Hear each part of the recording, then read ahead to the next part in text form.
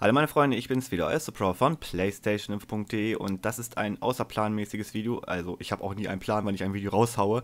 Aber dieses Video ist anders als die anderen Videos, weil ähm, es stört mich was. Es stört mich was und ich habe irgendwie jetzt keine Lust mehr, das einfach auch so hinzunehmen. Ich möchte wenigstens das jetzt einmal auf dieser Form irgendwie auch rausgehauen haben und nicht immer auf jeden Kommentar eingehen und immer mal wieder das Thema so einzeln diskutieren. Nee, das ist meine persönliche Meinung. Es ist nicht die komplette Meinung vom Team. Naja, eigentlich schon bis jetzt. Außer vielleicht eine Stimme. Und äh, es geht um Battlefield 2042, beziehungsweise um die Beta. Und ja, jetzt geht's los. Als ich gehört habe, dass es bald wieder ein neues Battlefield geben wird und dass dieses Battlefield wieder in der Gegenwart Zukunft spielt, habe ich mich schon ein bisschen drüber gefreut, weil dieses ganze Vergangenheitssetting das war schon ganz cool. Also gut, das, der Erste Weltkrieg hatte mir nicht gefallen bei Battlefield 1, aber das letzte war schon ziemlich nice und hatte so einen gewissen Flair und man hatte sich auch ein bisschen so an alte Zeiten erinnert. Und ich bin jemand, der damals unglaublich gerne Bad Company gespielt hat. Ich liebe Bad Company. Es war wirklich eins der besten Spiele, die ich in meiner PlayStation 3 Zeit gespielt habe, Bad Company 1 und dieser riesengroße Schritt zu Bad Company 2 mit dem Gameplay und alles und es lief so flüssig, dann das Team, die Story, aber auch einfach der Multiplayer war super. Und ich erinnere mich noch dran, dass sie das gefühlt ist, ist gefühlt so gewesen, dass DICE damals komplett überfordert gewesen ist und schnell den Multiplayer groß aufgebaut hat, wo sie gar nicht mit diesem Erfolg gerechnet haben, dass das so gut ankam. Ähm, ich erinnere an Vietnam und so weiter und so fort. Das war schon ziemlich krass und hat mega Spaß gemacht und die Truppe damals sehr cool. Dieses ganze Gameplay einfach. Und da kommen wir auch schon zu dem Punkt, Gameplay einfach. Danach gab es dann halt die anderen Battlefield-Teile und ähm, Battlefield 3 war schon sehr interessant und hatte auch wirklich ein paar Aspekte, die ich gefeiert habe und spielte sich auch relativ gut. Dann kam Battlefield 4, relativ schnell. Und kurz zur Erklärung, ich habe alle Betas mitgemacht. Battlefield 1 bin ich nicht hundertprozentig sicher, aber 100% bin ich mir sicher, ab Battlefield 2, äh, Bad Company, Entschuldigung, Bad Company 1 bin ich nicht sicher, Bad Company 2, 100% habe ich da die Beta mitgemacht. Und danach jede Beta. Sogar mal eine Close Beta und so weiter und so fort. Also braucht mir hier keiner was von Betas erzählen, was, ja, das ist ja nur eine Beta und bla bla. Kommen wir später noch zu. Dann kam auf jeden Fall Battlefield 4 und ähm, ja, es war cool. Es hat Spaß gemacht. Es wurde immer umfangreicher. Damals mit dem Premium Pass hat ein paar Leute geärgert. Ich fand es aber richtig okay so. Es war in Ordnung, weil ich bin immer da bereit, ich war immer schon bereit, ein Spiel zu unterstützen mit Premium Pass, keine Ahnung was, wenn es dann halt weiter Content gibt. Weil wir müssen, wir müssen nicht immer jedes Jahr einen neuen Teil rausbringen. Es reicht ja auch mal einfach eine Reihe oder ein Spiel länger zu pflegen. Das war immer meine Philosophie. So, kann auch jeder so sehen, wie er möchte. Völlig legitim. Es gibt ja auch Spiele, wo das nicht funktioniert. Ganz klar, ganz klar. So, dann kam ja so ein bisschen das Ärgernis mit Battlefield und ähm, dann war das ein bisschen schwierig. Also auch Battlefield 4 hatte schon ein bisschen schwer und so, ne? Also da gab es ein paar Sachen. Dann hat man sowas gemacht wie diese Neuauflage von Medal of Honor, dazu sage ich jetzt einfach mal nichts. Und Call of Duty ist natürlich dann auch eine sehr starke Konkurrenz geworden über die Jahre und ja, da sind auch viele abgewandert, das hatte auch seine Gründe.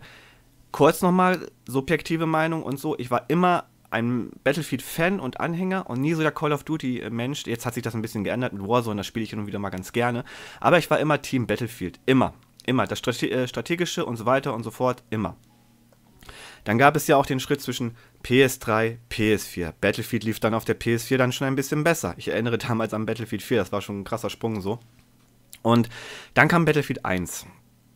Und damit hatte ich schon so meine Probleme. Viele haben es gefeiert, so, dass es halt in der Vergangenheit spielt, weil irgendwie waren alle müde wegen diesem Zukunftsding und Gegenwartsding.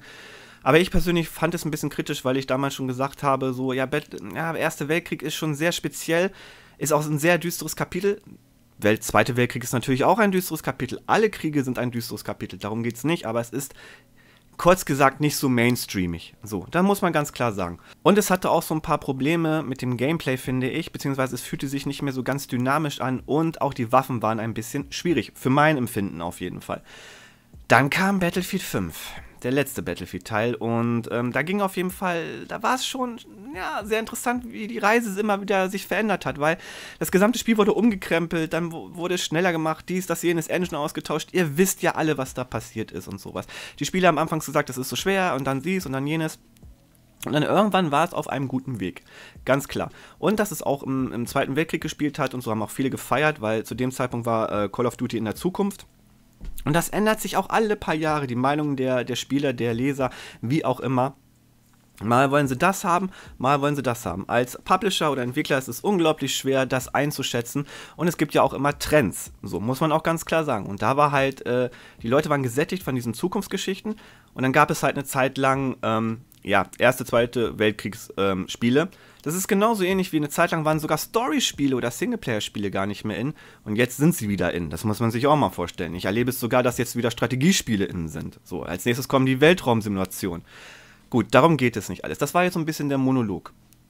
Und dann habe ich jetzt die Battlefield Beta eine Zeit lang gespielt, die Battlefield 2042 Beta. Und wie gesagt, ich habe alle Betas gespielt und kann wirklich jetzt sagen, es ist bei Abstand, mit Abstand, die schlechteste Beta. Ich würde sie nicht mal Beta nennen, die ich bis jetzt gesehen habe. Und was mir dann so richtig sauer aufgestoßen ist, dass mir jemand aus dem Team gesagt haben, alle Influencer reden positiv darüber. Und ich mir dann ein, zwei Sachen angeguckt habe. Ich werde jetzt hier keine Namen nennen. Das habe ich auch nie gemacht, werde ich auch nicht machen. Ich weiß ja, das ist deren Business und so weiter und so fort. Ist cool. Aber die erzählen da Sachen, die einfach nicht stimmen. Die stimmen einfach nicht. Die erzählen, ja, es läuft super flüssig, toller Sound, die Grafik, dies, das, jenes. Also ich weiß nicht, ob wir irgendwie unterschiedliche Spiele gespielt haben oder sowas, aber ich habe auf jeden Fall jetzt mehrere Stunden, mehrere Tage die Battlefield Beta gespielt, habe mit mehreren Leuten drüber gesprochen und wirklich von sehr vielen Feedback, was ich bekommen habe, beziehungsweise wo wir drüber geredet haben, habe ich wirklich versucht, was Positives rauszuhören und keiner hat irgendwas genannt, sondern ja, ähm, ja, ich würde es mir holen, so, aber ja, ja. Gut, Battlefield 2042 hat es auch schon ein bisschen schwer gehabt. Es gab ja auch schon wieder ein bisschen hinter den Kulissen wieder so ein paar Versch äh, Geschichten, sodass das alles nicht so rund läuft. Es gab ähm, Gerüchte, Themen, ähm, dass sich das verschiebt, dann verschiebt es sich wirklich. Es gibt immer noch ein paar Wetten, die sagen, es kommt erst nächstes Jahr raus. So weiter und so fort. Bei mir war es dann so, ich spiele es, Einmal in der Closed Beta oder Vorbesteller Beta, nennt es wie ihr das wollt, und dann in der Open Beta. Mach mir so mein Bild, rede nochmal mit ein paar Leuten, lass den Leuten auch nicht so äh, das vermitteln, was meine Meinung ist, sondern möchte erstmal deren Meinung hören und sowas. Das ist mir auch wichtig, weil immer, es ist ja immer so, wenn du schon mit einer Meinung irgendwo reingehst und sowas, dann, äh, wenn die Leute, dann gehen sie entweder auf dich ein oder sonst irgendwas. Also, das kann schon mal vorkommen, so. Nicht böse gemeint oder so, nicht böse gemeint. Ich will auch wirklich nicht gegen das Spiel bashen und sowas. Also fangen wir mal an mit dem Positiven zuerst, was mir in der Battlefield 2042 Beta gefallen hat. Und da kann ich wirklich sagen, gar nichts. Nichts. Es hat mir nichts gefallen. Überhaupt nichts. Gar nichts. Vielleicht, dass am Controller ein paar neue Sounds und Vibrationen da waren, aber wenn man eine PlayStation 5 hat, ähm, erwarte ich das auch. Und Fühlt es sich an wie ein Next-Game-Spiel? Hat sich das irgendwie bezahlt gemacht, das auf der PlayStation 5 zu spielen? Überhaupt nicht. Überhaupt nicht. Negatives. Fangen wir mal an mit der Präsentation. Ich habe mir auch keine Notizen gemacht. Ich möchte kurz auch sagen, das ist wirklich freischnauze. Ich bin gerade wirklich aus einer Session gekommen und das Maß war voll, nachdem ich noch mal, äh, vorher noch ein paar Videos gesehen hatte. Ähm, es voll reicht, reicht jetzt. Ich habe wirklich die Schnauze voll von diesem Quatsch, den ich da irgendwie von irgendwelchen Influencern oder YouTubern oder sonst irgendwas so mitkriege und so weiter und so fort. Da kann natürlich jeder seine Meinung haben, aber nee, ich lasse es jetzt einfach mal so raus. Reicht. Also, Präsentation. Ähm, wir wissen ja auch seit kurzem, dass wir eine ältere Version der Beta spielen. Das ist auch völlig in Ordnung. Und wir wissen auch, dass es auch wirklich keine richtige Beta ist. Das ist, das ist Marketing. Das ist Marketing so. Das ist, du sollst äh, immer heißer auf das Spiel werden, du sollst schon so das in deinem Kopf verarbeiten und es ist ja auch bald der Release und dann feuerfrei. Völlig okay, völlig okay. Früher, fand, früher nannte man sowas einfach Demo. Aber alle machen es so, ist nichts Neues. Kommen wir mal zur Grafik. Ja, wie gesagt, es ist eine Beta, ist mir jetzt aber auch egal. Die Grafik ist bei weitem nicht schön. Tut mir leid. Natürlich ist es alles vielleicht ein bisschen abgespeckt und dann sieht es vielleicht auf. nein, nein, so war es nie. So war es nie, so war es auch bei den anderen Betas nicht. Ich brauche da gar nicht irgendwas schönreden. Nein. Das wurde nie irgendwie nochmal viel, viel besser grafisch oder sonst was. Über die Jahre, wenn sie ein Spiel dann jahrelang gepflegt haben oder verbessert haben oder geändert haben, dann ja, dann wurde es teilweise mal besser. Aber der Sprung von einer Beta zur fertigen Version, I'm so sorry, da hat sich nie viel gechanged. Die Grafik wirkt auf mich sowas von steril, dass ich mir echt, was ich mich echt gefragt habe, hä? ja, das sieht zwar Frostbite Engine, das sieht Explosionen und so, und das Gras sieht aus wie Gras, was ich draußen sehe, aber es wirkt alles tot. Es wirkt alles steril. Es wirkt alles so, als hätte ich irgendwie so einen Holodeck-Besuch und da wäre irgendwie so ein Grafikfilter falsch. Oder als, als würde da, genau, als wäre da so ein Grafikfilter drüber. Es wirkt mir einfach alles zu clean. Die Gebäude sehen aus, wie als hätte da ein Grafiker was hingeknallt, aber hat vergessen, die Texturen oder das irgendwie authentisch zu machen. Die Fahrzeuge, die gesamte Umgebung, das mit dem Tornado und dem Wetter, und wir haben natürlich nur eine Karte bis jetzt gesehen, das weiß ich auch. Das sieht natürlich bombastisch aus, aber das, das verliert so schnell am Flair. Ich hatte nicht ein einziges Mal die Situation, ja, wow, sieht das krass aus, sondern eher so, hm, das ist es jetzt? Erinnert ihr euch, vielleicht, ich weiß ja nicht, wer das so guckt, aber erinnert euch damals, äh, ich, tut mir leid, aber das war Battlefield 4, meine ich, die Beta, mit dem Shanghai Tower, war es Shanghai Tower, der dann kaputt explodiert ist, mit den Säulen und sowas? Wie wir da alle vorstanden und uns das angeguckt haben und gedacht haben, what the f geht da, was ist denn da gerade passiert? Alter Schwede. Dieses Gefühl, könnt ihr euch da noch erinnern, wie man mit dem Fahrstuhl hochgefahren ist, da oben auf dem Dach gekämpft hat und dann kracht das Ding ein? Seitdem hatte ich das, ich hatte das nie wieder. Nie wieder. Dieses Gefühl, was ich damals hatte, hatte ich bei keinem Battlefield-Teil mehr. So, und ich habe die alle wirklich auch gespielt und auch teilweise gerne gespielt und habe nie auf diesen, diesen, ja, Pay-to-Win, Lootboxen, das ist mir alles egal, das fand ich alles immer so ein Pille-Palle-Zeug so. Nein, dann gucke ich mir die äh, Beta an, gucke mir die Grafik an und denke mir so, okay, guck mal die Autos an, ja, irgendwie haben die eine falsche Größe, irgendwie sehen die alle so pseudo-futuristisch aus, aber da ist überhaupt nicht, die sehen so clean aus, als hätte ich irgendwie so ein Schwarz-Weiß-Bild gemalt, auf total sauber und so. Also kurz gesagt, es wirkt alles so megamäßig steril. Nächster Punkt, der Sound. Bin d'accord, wird wahrscheinlich noch ein bisschen besser werden, wie auch immer. Aber Battlefield ist für mich immer das Präferenz und das beste Spiel in Sachen Sound gewesen. Ich habe ich habe ja über die letzten zehn Jahre PlayStation Info habe ich natürlich schon sehr viele Headsets getestet so und auch das Team hat viele Headsets getestet und Leute, die bei uns waren, haben Headsets getestet. Da waren 5, 1, 7, 1 Stereo, Mono, keine Ahnung, Ketchup und so weiter und so fort. Ihr merkt schon, ich bin ein bisschen, bisschen, ne? Auf jeden Fall habe ich immer allen Redakteuren gesagt und allen Leuten gesagt, und ich habe mich selber auch dran gehalten, wir nutzen ein Battlefield-Spiel, um den Sound zu testen. Besser geht es nicht. Hört sich der Sound dann richtig gut an, hörst du das und das, äh, hörst du das und das bei Battlefield und weißt du, das Headset ist gut. War immer so. Battlefield 2042 reingelegt und nee.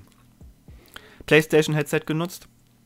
Als erstes maximale Lautstärke. Ich dachte, ich habe irgendwas falsch eingestellt. Ich gucke in den Systemeinstellungen nach, teste alles und sag so, Ah, nee, irgendwas stimmt da nicht. Kurz das neue Razer-Headset, von dem ich nicht so begeistert war, äh, reingemacht. Kabel. Nee, kracht nicht. So, mir den Aufwand gemacht, die Mühe gemacht und mein SteelSeries äh, 7.1 alles fertig gemacht, Kabel, bla, gelegt, kurz einen Soundtest gemacht, so. Ich bin nicht hundertprozentig sicher, ob ich alles richtig gemacht habe, aber nee, knallte nicht. Knallte überhaupt nicht. Also, war so dumpf und ja, die Waffen klingen gut und man hört da ein bisschen Gras, aber what the fuck? Das ist Battlefield. Battlefield hatte immer diesen. Du hast immer bei Battlefield so, oh mein Gott, war das krass vom Sound. Die hast du immer gehabt. Immer. Immer. So, dann kommen wir jetzt zum nächsten Punkt. Ähm, die Steuerung. Ähm, ein paar Leute haben geschrieben, ja, cool, das ist ja fast wie Bad Company. Und dann ist das genau das, wo ich gerade meinte, diese YouTuber und so gesagt haben, ja, das ist ja wie Bad Company. I'm so sorry, ich weiß nicht, was ihr spielt. Es ist kein bisschen wie Bad Company. Ja, ich, ich habe mir sogar die Passage, also ich habe einen Kollegen gefragt, kannst du mir bitte mal den Schnipsel sticken, weil ich habe keinen Bock, das ganze Video zu gucken so. Kannst du mir mal bitte den Schnipsel sticken, ob der das wirklich gesagt hat, so. Ja, schickt er mir. Guck mir das an und denk so, das hat er nicht gesagt, so. Wow, okay, krass. Ist natürlich auch wieder eine subjektive Meinung. Aber dann kommen die ganzen Leute und schreiben das auch und haben vielleicht noch nicht mal das Spiel gespielt und so. Und ich finde das ein bisschen, ein bisschen strange. Punkt ist, die Steuerung ist meinem Empfinden nach, meiner subjektiven Empfindung nach, kein bisschen wie Battlefield. Im Gegenteil. Sie ist für mich eine Mischung aus Battlefield 3 und minimalistisch. Na, Bad Company, ah, nein, nein, nein. Battlefield 3 nur in träge. Ich finde die Steuerung mega träge. Sie ist nicht dynamisch, sie ist nicht flüssig, es wirkt alles so ein bisschen mm, übertrieben schwerfällig und damit habe ich ein Problem. Ich habe natürlich die Sensibilität eingestellt jeder weiß ja, der Battlefield gespielt hat, hat sich irgendwann mal eine Textdatei gemacht, wie er die Sensibilität und alles andere eingestellt hat. Also sprich, natürlich auf Kreis macht man natürlich nicht ducken, sondern man macht es auf R3 zum Beispiel. Also so bin ich. Ich habe mir wirklich, ich, ich auto mich so, ich habe mir wirklich damals äh, eine Textdatei gemacht mit meinen Einstellungen und die habe ich zweimal schon übernommen und dann einfach auch übernommen, weil das vergisst man einfach so. I'm so sorry, ich bin alt, deswegen habe ich es mir aufgeschrieben. So, gleich als allererste Steuerung gemacht, so. Nee, total träge, äh, Visieren funktioniert gefühlt nicht. Was gut ist, was gut ist, das hätte ich vielleicht am Anfang erwähnen sollen, ihr habt ja diese Gadgets, die ihr da machen könnt, ne? Die könnt ihr halt, die, das funktioniert ganz gut mit dem draufmachen und so. Das haben sie ganz gut gemacht. So, das, das funktioniert schon. Aber die, es fühlte sich einfach nicht dynamisch, es fühlte sich sehr träge an. Und dann kommen wir jetzt zum letzten Punkt, der Zustand dieser Beta. Ich finde, das ist meine persönliche Meinung, also auch das Fazit, DICE EA, wer auch immer da ist, die, die komische PR-Agentur aus Hamburg, was auch immer, naja, die nicht, die haben ja nichts zu tun, so, ähm, haben sich keinen Gefallen getan damit. Ich bin da der Meinung, sie haben sich keinen Gefallen damit, äh, keinen Gefallen damit getan. Die Beta ist, finde ich, einen absoluten desolaten Zustand. Definitiv. Sie, sie rockt nicht. So, sie rockt aus den Punkten, die ich gerade gesagt habe, nicht. Es ist eine ältere Version. Ich, ich wette meine, ich lege meine Hand ins Feuer, selbst wenn es eine neue Version wäre, wenn dann keine großen Unterschiede. Ähm, diese ganzen Punkte zeigen doch irgendwie, dass das Spiel einfach noch nicht fertig ist. Und da kommen wir zu dem Punkt. Ich bin 100% der Meinung, dass es genauso ablaufen wird wie bei einem Battlefield 4, ein, korrigiert mich, Battlefield 5, Battlefield 1, ja, da hat sich das nur alles verzögert, da war es nicht so. Sprich, es wird auf lange Zeit dann wieder umgepatcht, gepatcht, so weiter und so fort. Und das war's. Und dann haben wir in zwei, drei Jahren ein solides Spiel. Tut mir leid, ich habe da keinen Bock drauf. Es reicht mir. Ich habe das die anderen Male mitgemacht. Ich habe das bei verschiedenen Spielen mitgemacht. Ich kenne auch die Aussagen von anderen Publishern, wie sie gesagt haben, ja, wir haben aus dem ersten Teil gelernt und wir werden es auf jeden Fall beim nächsten Teil besser machen. Ja, Pustekuchen, ist überhaupt nichts passiert so. Ich hoffe und ich würde mir so wünschen, und ich weiß, dass das naiv ist und ich weiß, dass das nicht passieren wird, dass dieses Spiel dieses Jahr nicht rauskommt. Dass es wirklich jetzt nochmal ein Quartal oder so nochmal Entwicklungszeit bekommt, so dass man diese Sachen nochmal eingeht, dass man eventuell mal sich größeres Feedback holt, dass man vielleicht mal auch auf Meinung anderer hört und nicht nur nach Quartalszahlen und so weiter und so fort geht. Ich weiß, draußen ist Party, ich weiß, dass das alles Business ist.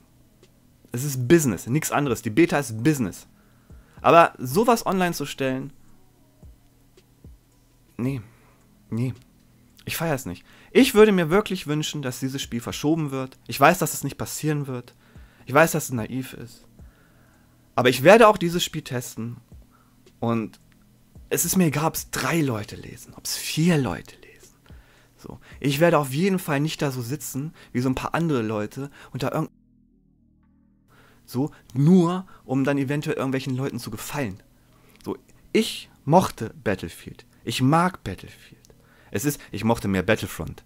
Aber das hat mich jetzt echt geärgert. Und das ist mein Eindruck von der Battlefield 2042 äh, Beta nach tagelang Spielen, kann man so sagen. Und ja, keine Ahnung, wollte ich jetzt loswerden. Also, ihr könnt damit machen, was ihr wollt, so.